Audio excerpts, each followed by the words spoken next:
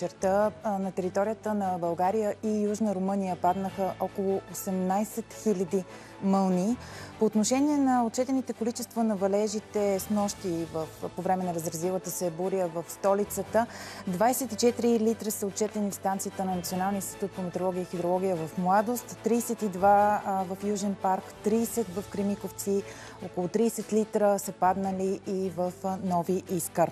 През нощта валежите вече навсякъде е